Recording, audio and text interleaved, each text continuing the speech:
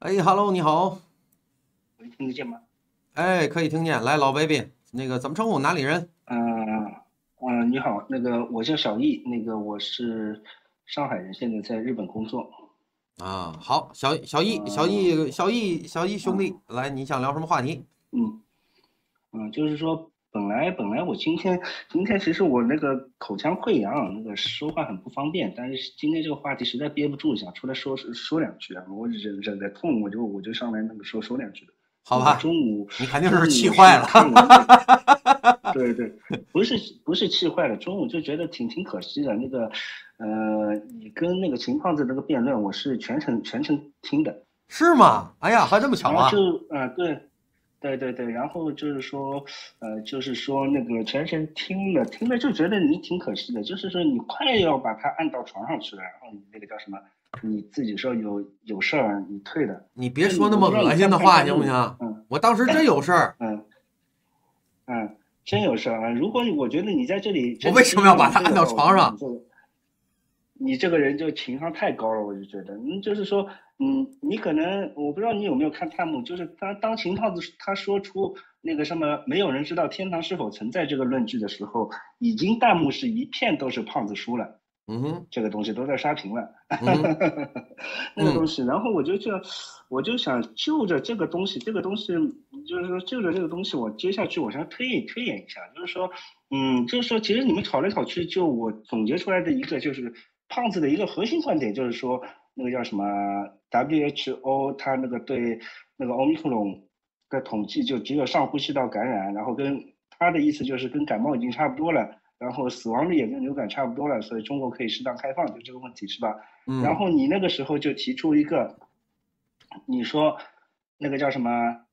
人类对新冠的认知还不足，新冠才出来几年，流感已经出来好多好多年了，已经出来大概一百多年了吧？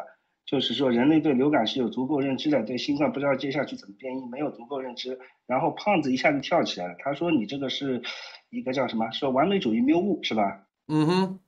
然后他就举了一个反例。呃，主要我讲到有一个重点，我补充一句哈，我是说这个，一个是说了刚才那个，我同时说了另外一句话，他眼睛亮了。嗯。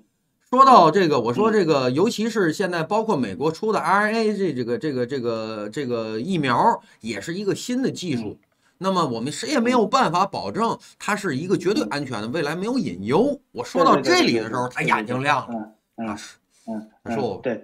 嗯，就是说，呃，就是说，像你说到这个，我就说一下，像我到现在我在国外嘛，我疫苗到现在还没打，就是因为我信不过这个 I 啊，那个 m R N A，就是说不知道它那个将来几十年后会有什么隐患，你起起码你有那个成熟的灭活，我肯定会打。那个好，那我接下接着说下去啊，就是说，然后胖子他举了个例子，他说你这个是完美主义谬误，那如果宗教的人他说没有人知道天堂是否存在，怎么样怎么样？那这个是，这个时候他其实就一个很明显的在在偷换概念了。他偷换一个，首先天堂这个东西是否存在，它是一个既没有办法证实也没有办法证伪的东西。但是说你说新冠以及这个 RNA 疫苗对人类有多大影响，它可以通过时间去证实或者证伪的。嗯，它这里已经是一个一个明显的明显的一个偷换概念了。这个只要抓着它这个往它。就可以把它按在地板上摩擦了，那个叫什么？那个，然后弹幕所以都一片刷屏嘛，就说那个胖子，胖子，胖子输了，胖子输了，就是一片刷屏。他现在把这个视频完整版放放出来了，他也他把完整版放出来了。我建议大家都可以去看一下，他跟罗宁的这个辩论，我觉得还挺精彩的，而且还都是带弹幕的，可以大家都去复盘一下。只要他没没有剪掉，没有剪掉他那个出丑的地方。我跟你说实在的，而且我跟你说啊，我我其实他已经他已经在那个点上，他已经输给我了，我他已经硬凹了。我在他说到那个，他说我完美主义谬误的时候，我在后面回复给顶怼给他的时候，你看到他他在眼一亮，他全程几乎都是心不在焉，脚趾甲，然后在那边，然后又左右溜的，然后到后面我说到完美主义谬误那个事儿，他眼亮了，亮了之后。他描述完了，疯狂的，然后捶我，捶我之后，我反击，我反击完了之后，你会发现他当时身体往后缩，然后身体往下面沉，然后在说的这个时候的语速明显变慢，语调明显下沉，然后他在这样左右这样转，我就看他在那硬凹，我没下死手，我当时没下，确实我跟你说我没下死手，我要下死手我就说，胖子你看看你现在的状态，你都开始在这跟我硬凹了。嗯。嗯。嗯，对对对对对，然后然后就是说还有，嗯还有就是说胖子他提的另外一个观点我也想说一下，就是他说，呃他说我们打压那个叫什么张什么的。一是不允许他有不同的声音，是吧？对对对，那个网暴张文宏加上人民日报批评他东西啊，对对对对对对，我想这个东西是反贼反贼很很经常用的一个套路，就是说你提一个观点，人家反驳，那就是那就是那个叫什么？你你就说没有言论自由，我难道不能说什么什么吗？这个其实很简单一个道理，你有你发表观点的言论自由，但别人也有锤你的言论自由啊，这个很简单嘛。你既然发表这个观点，那么人民之后觉得你不对，其他人觉得不对，那锤你又怎么样的呢？是吧？在网络上，就是碰到反贼这种东西，都都是碰到别人都怎么说？怎么呢？嗯，你只要指摘那个反贼的错，你说这个，然后反贼马上来一句，你没有言论自由，你凭凭什么反驳我？那你有你说的自由，我有反反驳的自由，大家互相伤害嘛，对吧？这就是言论自由嘛。嗯，那很简单的。然后就是我想说一个，就是说为什么？为什么那个叫什么？且不论这个张医师他说的对还是不对，但就说应不应该打压这种声音，我个人觉得是应该。为什么道理？就是我们古代自古以来，我们中国就是这么办事的。古代的时候，妄议朝政者斩，就那么很简单。现在我们社会进步了，把宅改成了不，就你就不不要说话了，找找你谈一谈，不要说话了，就这么很简单。那现在你要看他是不是？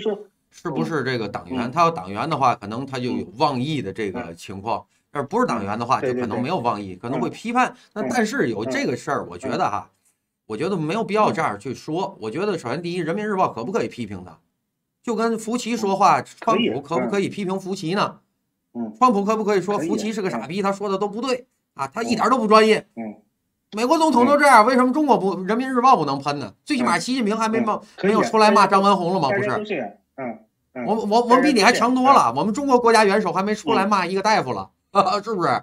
嗯，是啊，嗯，就是说，呃，就是说这个很简单的一个道理嘛，就是说国家决定了一个战略，我就是一个亲民的战略，你提意见可以，你通过正规的渠道提，不要在这种，嗯，就是说在下面你悄悄的提。或者就是说，通过正规的渠道，你上报到中央，我有个什么更好的建议、更好的方案，你提没问题。但是说不能在大家已经在执行一个方案、已经在执行这个战略的时候，你去在公开场合你去唱反调，这个我觉得是不应该的。就是以前你比如像那个叫什么《三国演义》里面那个孙权，他一开始一开始大家讨论是赤壁之战之前讨论降曹操还是不不降曹操，是吧？然后等大家战略都决定了，好了，我们准备打了。如果那就剑掏出来砍个桌子，是是吧？嗯，再再言降者有如此案。那很简单一个道理嘛，就是说你如果一个战略决定了，大家这个时候劲往一处使，往一个地方走，远比谁的谁的方案更好要重要的多。否则的话，我们就变成美国这样了。你说你说你说你的，他说他的，然后你做你的，他做他的。那就没有一个统一的方向了嘛，是吧？我们那个自古以来就是这么办事情的，只不过现在社会先进了，我就给你喝个茶，然后谈一谈，批批你一下，那怎么了呢？这个叫打压了呢？古代都是要杀头的，就很简单的一个道理嘛。以前那个叫什么，比如打游戏打那个什么，嗯，我相信你也玩过魔兽世界，对吧？那么以前打魔兽世界那个打团打副本的时候，就是说碰到一个什么 boss 卡了之后，你那个。你在公屏上，你在说一些什么？嗯，说一些什么？哎呀，打不过了，我们应该这样，我们应该那样。你在公屏上说，马上叫你滚，你不要在这动摇军心。你可以有什么？有什么？你有更好的方案？你私聊团长，你说我们是不是这么打？现在我们存存在什么问题？啊，这个没问题，然后团长再想办法调整，是吧？你如果在公屏上你动摇军心，那肯定叫你滚蛋。就是就是这就是这么个道理嘛，在单位里也是这样的，是吧？一个一个方案已经执行了一半了，你再来唱在。公共场合唱反调，你，动动摇军心，那肯肯定是，嗯，肯肯定是就是说对对这件事情本身是负面的效果要大于正面，嗯，没完完全没有问题，嗯嗯嗯，好，然后那个就是说，刚才还说到一个如何驳倒秦胖子，驳倒秦胖子很很简单一个办法，就是说秦胖子是什么技能？他就是一个打断，一个加霸麦，这就是麦霸，还有一个就是偷换概念，是吧？呃，他就霸着麦不不让人说话嘛。当当初那个叫什么磊哥可能战斗力比你弱一点，他他在那，嗯，磊哥和秦胖子谁对谁错，我我不讨论，排除这个不说，我就说磊哥的辩论技巧肯定是跟罗尼。今天看你这个效果是差挺多的，然后就被就是感觉他就一直说不出话，被秦胖子气势给压倒了。那很简单，打败秦胖子就是有一个像正常的辩论赛的规则，大家计时，对吧？然后像秦胖子这样叨逼叨叨逼叨说的，他肯定到时候正方时间到，然后剩下的就被人叨叨叨叨辨识，就就就是这这这这个样子。虽然在网网络上这个很很很很很难实现，嗯。嗯，不是我笑你的点是你刀逼刀刀逼刀，呃，对对对对，他对他就是麦霸，然后吼的吼喉咙比你响，然后虽然他说的话话看似有那么点道道理，对吧？然后喉咙比你响，然后抢嗯抢麦不不让人说话，他就是这个嗯，他就这个嘛。我觉得他今天还行哎，他跟我还可以哈，没有完全的霸是吧？对对对，我反正我也不让他霸。我觉得你这你是有点有点霸气的，对你就是。我觉得你时机把握的挺好的，就是说什么时候该打断他，什么时候不该打断他，什么时候该打断他的时候一定要打断，嗯，就是说也不是说绝对什么不能打断，他打断你，你凭什么不能打断他呢？对吧？嗯，好，你看，嗯，好，然后嗯，就嗯，那我我就该该说我就说这点吧，把是把时间剩剩下的时间给给其他朋友，好吧？好的，感谢我们的这个就是人在东京的小易哥啊。嗯，就是想复盘一下今天那个，今天这个，今天这个到最后那个烂尾有点有点非常不爽，嗯，眼看着就要把它 按按倒了。你知道我有有的时候没办法哈，我这个这个这来事儿，我来事儿了，游不了。当时这个正催着我家里有事儿啊，有非常重要的事儿。嗯，好的，感谢小易，我们就到这里，辛苦了，好，拜拜，嗯，拜拜。